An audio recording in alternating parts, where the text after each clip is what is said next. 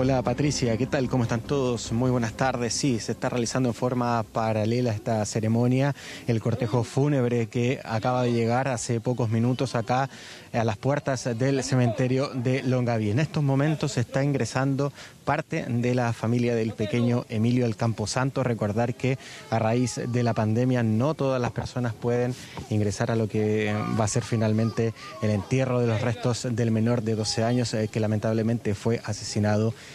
la semana pasada. Y en paralelo también se está realizando aún eh, en el juzgado de garantía de Linares en forma telemática la audiencia de formalización de las dos personas que fueron detenidas por este crimen y que son sindicados como los principales sospechosos de la muerte de Emilio. Ha sido obviamente una jornada llena de emociones, mucha tristeza por parte de la familia que ya le está dando el último adiós a Emilio y también de mucho pesar eh, de toda la comunidad de Longaví, porque desde muy temprano comenzó a llegar gente hasta la casa de los familiares eh, del menor eh, para mostrar su último pésame y también todas las muestras de apoyo que se han visto multiplicados en forma multitudinaria a lo largo de todo el camino que realizó el cortejo fúnebre, porque la población donde se encuentra la casa de Emilio se encuentra al lado poniente de la ruta 5 Sur y el cementerio está acá, muy cerca del centro de Longaví, a unas cinco cuadras de la Plaza de Armas. En todo ese trayecto fueron cientos de personas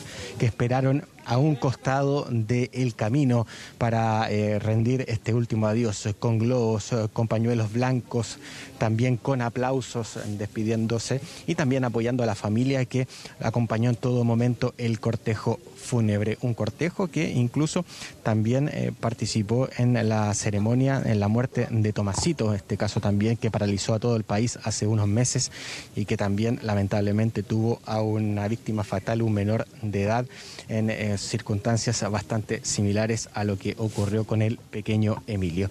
En estos momentos eh, todavía eh, el cortejo fúnebre se encuentra esperando para que el féretro donde está el menor eh, sea trasladado hasta el interior de este cementerio. Todavía está ingresando eh, familiares al Camposanto.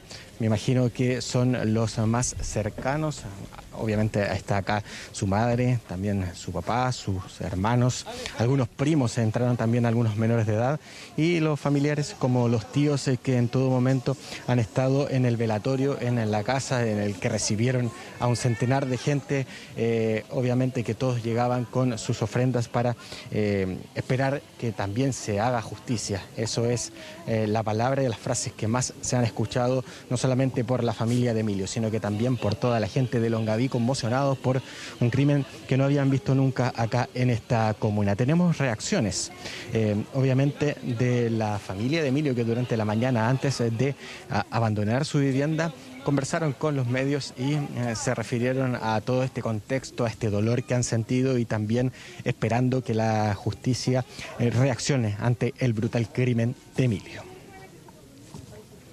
todo lo que la fiscalía reunió permita que estos delincuentes, si es que son los culpables, porque hasta el momento son sospechosos, eh, queden en prevención preventiva. Y nosotros a esas personas no las conocíamos, que no teníamos rencilla y estamos seguros que es netamente maldad. A nadie le doy el dolor que yo tengo. Pero me voy a, estoy para en estos momentos, para darle el gracias a toda aquella gente que no conocía, que llegó aquí. Yo lo único que le pido justicia para mi hijo. Lo único que estoy pidiendo. Pero yo no quiero que esto que, porque yo la muerte de mi hijo, me sacaron la vida entera de mi hijo.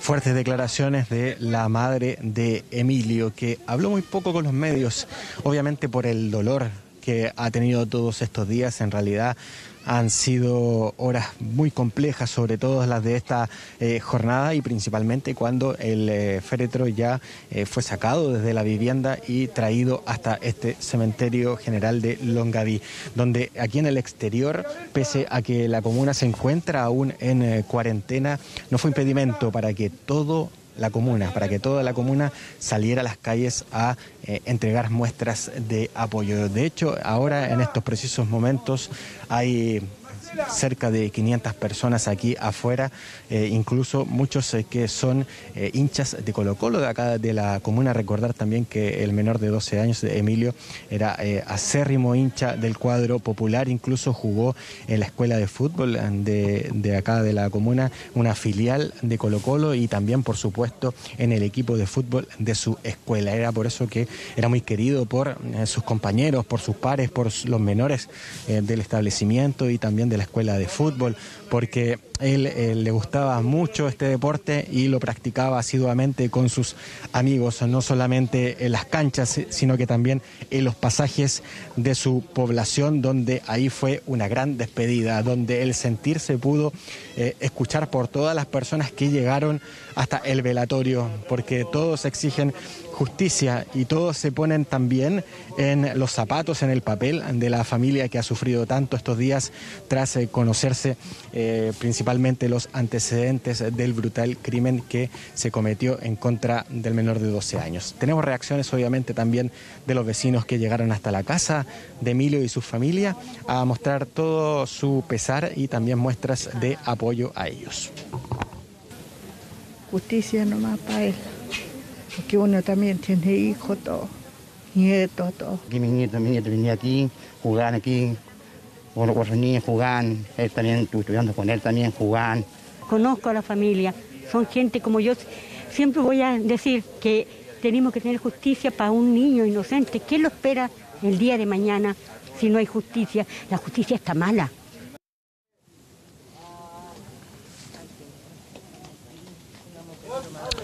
Bueno, en estos momentos eh, va a entrar eh, el cortejo fúnebre. Bueno, ya eh, van a sacar el féretro desde el cortejo fúnebre, donde finalmente Emilio va a ser ingresado acá hasta el cementerio, pero este caso que ha tenido muchas directrices y principalmente para dilucidar lo que ocurrió con el menor esa jornada cuando salió de su casa junto a sus mascotas hasta un eh, sector baldío que se encuentra aproximadamente a 800 metros de su vivienda. Nunca más regresó y es por eso que comenzó una intensa búsqueda que lamentablemente terminó el día viernes con...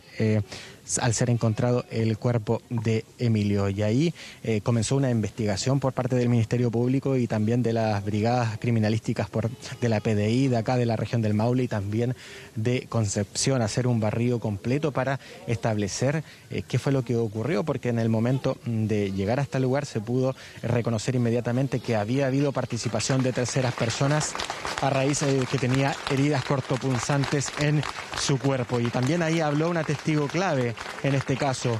Em, encontró que había sido muy sospechoso unas llamadas reiteradas por parte de uno de los dos detenidos que actualmente se encuentran en el proceso de eh, formalización.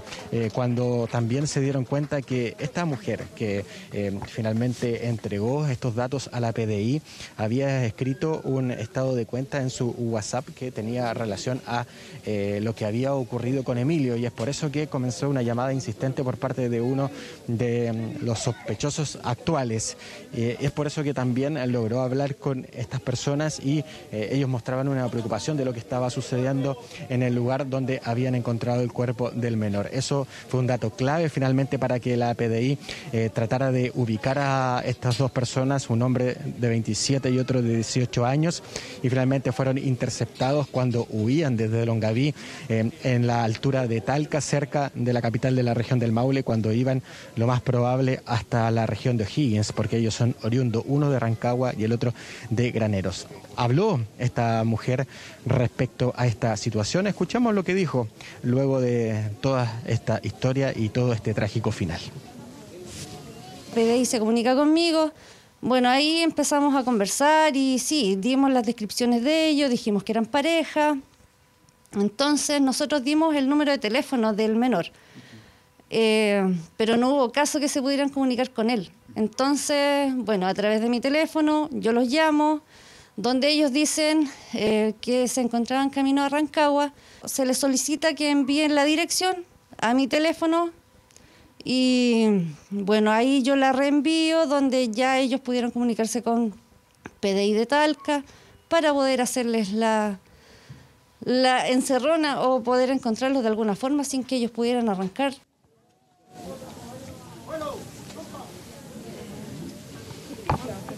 Sí, bueno, finalmente fueron encontrados eh, cuando eh, viajaban hasta la región de, O'Higgins, no alcanzaron a terminar eh, su recorrido y fueron interceptados por personal de la PDI, detenidos y bueno, ahora luego de ese control de detención están siendo formalizados.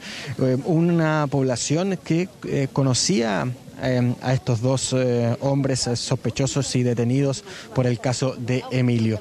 Muchos incluso eh, lo veían con actitudes eh, al menos que llamaban la atención. Peleaban mucho, decían eh, los que quizás más lo llegaron a conocer, sin profundizar tampoco en, relaciones con ellos, porque no tenían muchas amistades en el lugar. Pero lo que sí es que también habían personas donde ellos vivieron por algunos meses, de hecho trabajaban por el sector y decidieron arrendar un sitio para poner su mm, eh, casa rodante que tenían finalmente para poder pernoctar.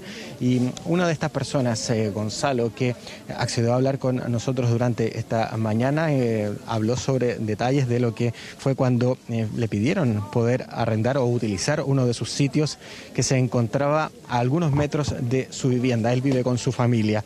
él accedió pensando también en ayudar a estas personas porque no tenían dónde quedarse. Le dijo que no tenía todas las condiciones básicas tampoco porque el sitio no tenía luz, no tenía agua, pero ellos le dijeron que de alguna forma se la iban a arreglar. Fue un mes muy complejo, dice este propietario del terreno, porque si bien no tuvo ningún inconveniente eh, personal con ellos, eh, tampoco eh, hubo un conflicto con este hombre, sí vio que había muchas peleas al interior de la casa rodante, gritos e incluso golpes. Eso fue lo que él eh, dijo durante esta mañana y es por eso que luego de ver eh, sucesivas peleas incluso de grueso calibre decidió eh, solicitarles que abandonaran este lugar y finalmente se fueron tras más de un mes que estuvieron ahí. Él reveló algunos detalles con respecto a cómo era la vida de estas dos personas detenidas y también obviamente esperando que se haga justicia. Conversamos con él, escuchemos lo que nos dijo bueno, bien agresivo entre ellos, pero en discusiones que tenían entre ellos.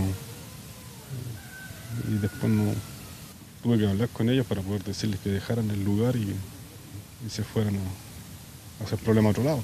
Porque ya era mucho. Exacto, exacto. ¿Y ahí ellos se fueron? ¿No, no, dijeron nada? Ahí tuvieron una discusión entre ellos y, se, tuvieron una discusión bien, bien fuerte entre ellos.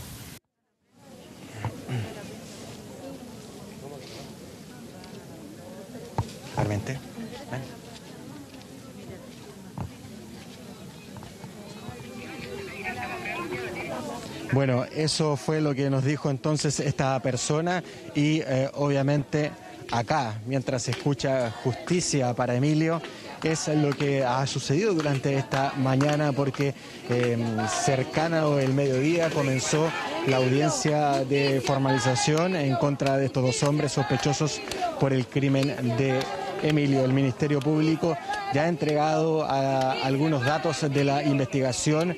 Lo específico no ha sido revelado específicamente por eh, mantener también la integridad no solamente del menor ya fallecido, sino que también para resguardar a sus familiares. Lo que sí es que se está formalizando por el delito de violación y homicidio en grado eh, consumado. El Ministerio Público ya solicitó al juzgado de garantía la prisión preventiva, incluso eh, la defensa de estos dos hombres eh, no se opuso a la petición del Ministerio Público de prisión preventiva. Lo que se puede decir en grandes rasgos es que estos dos hombres que se encontraban en este sitio baldío en el momento en que Emilio llegó con sus mascotas, lo interceptaron con un cuchillo a las orillas del río Liguay, em, abusaron de él y lo mataron con eh, una herida de arma blanca. En realidad fueron ocho heridas, cinco en el cuello y tres en el tórax. Es lo que se revela en esta audiencia de formalización, que lo más probable termine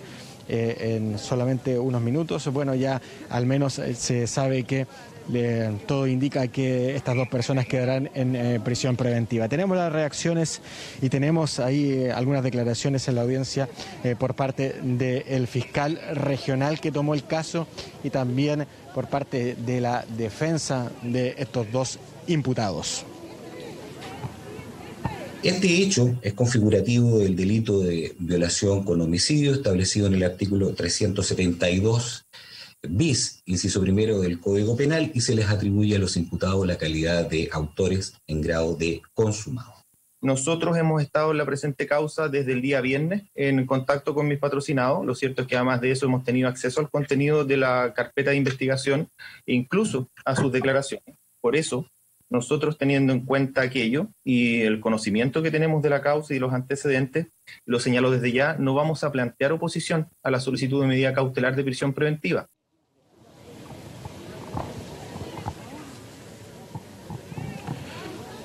Bueno, eso son ah, algunas, eh, no declaraciones, sino que finalmente lo que ha pasado durante esta jornada en la audiencia de formalización de estos dos sospechosos. Aún eh, se mantiene, está siendo incluso eh, eh, televisado por la página del Poder Judicial esta audiencia de formalización. Deben quedar todavía algunos minutos donde se están entregando los antecedentes por parte del Ministerio Público. Nosotros seguimos acá entonces afuera del cementerio de Longaví, donde ya ingresó la, la familia de Emilio junto al cuerpo del menor en una ceremonia que ahora será más íntima, donde recibieron a mucha gente, ahora va a ser Em, un preciso momento también para despedirse de su ser querido. Y acá en el exterior del cementerio todavía se ve mucha gente con pancartas, con globos, con arreglos florales todo Longaví que se volcó en torno a este caso, exigiendo justicia. Todos lloran la partida del pequeño Emilio, tal como se puede ver en algunas de las pancartas, porque eh, finalmente em, esta situación les ha afectado a todos y que obviamente esperan que em, no solamente se formalice a estas eh, personas, sino que finalmente se encuentre la verdad, que haya justicia y que la familia pueda también descansar luego de estos días bastante trágicos que comenzaron el jueves, cuando desapareció el menor a solo metros de su casa y que ahora lamentablemente está siendo sepultado acá en el Cementerio General de Longaví. Sí, Daniel, estamos viendo ahí las imágenes eh, y también eh, lo que se ha estado repitiendo durante todos estos días. Eh, justicia para Emilio es lo que se está pidiendo. a la par de que se hace esta despedida, los funerales del pequeño Emilio. Por otro lado, estamos viendo ahí en las imágenes eh, la formalización a estas dos personas que están eh, detenidas, sospechosas del homicidio de Emilio. Y en ese sentido, Daniel, em, ¿qué es lo que mencionan eh, las personas ahí a nivel local respecto a estos dos sospechosos? ¿Hay testimonios, otros testigos que hubiesen relatado algo más respecto a ellos? ¿Qué, qué es lo que se conoce? Bueno, principalmente que eh, eran personas muy, muy reservadas, eh, que eh, se veían deambular por el sector, pero que nunca se había visto nada extraño. Incluso algunos familiares de Emilio llegaron a trabajar con ellos en un packing. Y bueno, lo que sí ellos decían es que no tenían mucha responsabilidad, que uno de ellos había sido incluso despedido de la empresa porque no había cumplido con las responsabilidades que tenía la en, ese momento y que, bueno, la gente que eh, quizás este, vivió más cerca de esta casa rodante en el cual estuvieron algunos meses ubicados a un par de kilómetros, a cinco minutos aproximadamente de la casa de Emilio. Ellos decían que no tenían una buena relación entre ellos, eh, que era muy tóxica y que eh, estaban en constante conflicto. Obviamente que ninguno de las personas, salvo ahora cuando ya ocurre todo esto, eh, pueden dilucidar y darse cuenta que incluso uno de ellos ya había sido condenado por un homicidio hace bastante tiempo, pero que sí ya tenía antecedentes penales. Algo que también es importante para toda esta gente de poder esclarecer eh, esta situación y también ver que eh, la familia espera de que no se vuelva a repetir. Sí, Daniel, mientras vemos ahí las imágenes de la gente que ha llegado de manera espontánea para sumarse a esta despedida de Emilio, tenemos también ahí en pantalla lo que está pasando en esta audiencia de formalización. Eh, lo que se está resolviendo hasta ahora es que estos dos sospechosos quedarían en prisión preventiva por el crimen de Emilio. Eh, lo que ha planteado la jueza es que existen antecedentes suficientes como para acreditar este homicidio y donde los imputados eh, reconocen estos hechos y es por eso que entonces se mm, tomaría esta determinación mientras se realiza la investigación y de acuerdo a lo que pedía también el Ministerio Público de que estos dos sospechosos queden en prisión preventiva eh, por el crimen de Emilio. Em, es una audiencia de formalización que partió eh, cerca de ya del mediodía cuando comenzó a desarrollarse. Originalmente se iba a hacer el día sábado, pero finalmente se amplió la detención de estos dos únicos detenidos a la espera de conocer otros resultados de peritajes que estaban relacionados con este caso y es por eso que se está realizando el día de hoy esta audiencia de formalización a estos dos hombres de 18 y 27 años y mm, lo había planteado la Fiscalía, se le estaba investigando por ser los responsables y de acuerdo a lo que ha señalado la jueza algunos minutos atrás nada más existen antecedentes suficientes para acreditar eh, este homicidio, los imputados reconocen los hechos y quedan por lo tanto con prisión preventiva. Daniel, muchas gracias por contarnos lo que está pasando ahí en Longaví. Vamos a seguir por supuesto muy pendientes de este caso. Muy buenas